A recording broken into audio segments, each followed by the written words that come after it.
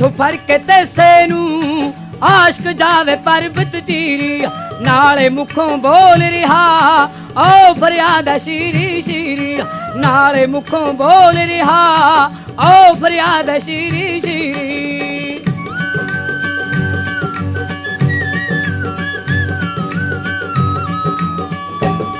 ਭੈਣ ਬਾਨੋ ਸ਼ੀਰੀ ਦੀ ਮਾਲਕ ਤੁਰਕੀ ਦੀ ਅਖਵਾਉਂਦੀ ਇੱਕ ਦਿਨ ਫਰਿਆਦ ਤਾਈ ਸੱਦ ਕੇ ਵਿੱਚ ਫਰਮਾਉਂਦੀ ਕੱਢ ਨਹਿਰ ਪਹਾੜਾਂ ਚੋਂ ਜੇ ਤੂੰ ਵਿਆਹਣੀ ਚਾਹੁੰਦਾ ਸ਼ੀਰੀ, ਹੱਥ ਫੜ ਕੇ ਤੈਸੇ ਨੂੰ ਆਸ਼ਕ ਜਾਵੇ ਪਰਬਤ ਜੀਰੀ ਨਾਲੇ ਮੁਖੋਂ ਬੋਲ ਰਿਹਾ ਓ ਫਰਿਆਦ ਸ਼ੀਰੀ ਸ਼ੀਰੀ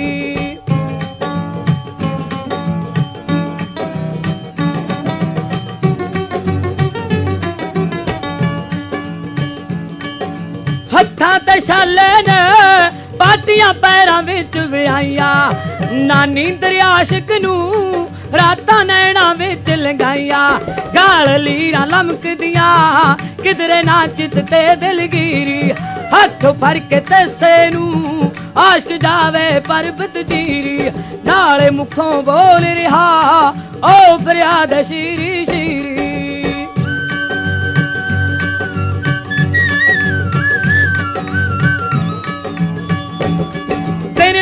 ਚੱਲੇ ਤੈਸਾ ਆਸ਼ਕ ਪੱਥਰਾਂ ਤਾਈ ਤੋੜੇ।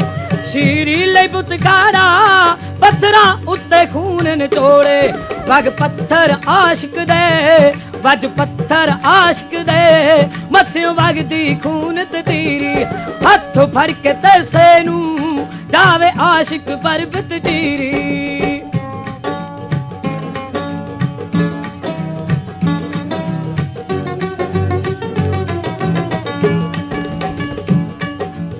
ਹਾਲਤ ਆਸ਼ਕ ਦੀ ਸ਼ੀਰੀ ਸਾਲ ਮਹਿਲ ਚੋਂ ਮਾਰੀ ਤੇ ਸਸਰ ਵਿੱਚ ਮਾਰ ਲਿਆ। ਸੁਣ ਫਰਿਆਦ ਹਕੀਕਤ ਸਾਰੀ। ਮਿਲ ਗਈਆਂ ਥਰੀਕੇ ਨੇ, ਰੂਹਾਂ ਜਾਂਦੀ ਵਾਰੀ ਅਖੀਰੀ। ਹੱਥ ਫੜ ਕੇ ਤੈਸੇ ਨੂੰ ਜਾਵੇ ਆਸ਼ਿਕ ਪਰਬਤ ਚੀਰੀ। ਨਾਲੇ ਮੁਖੋਂ ਬੋਲ ਰਿਹਾ ਓ ਫਰਿਆਦ ਅਸ਼ੀਰੀ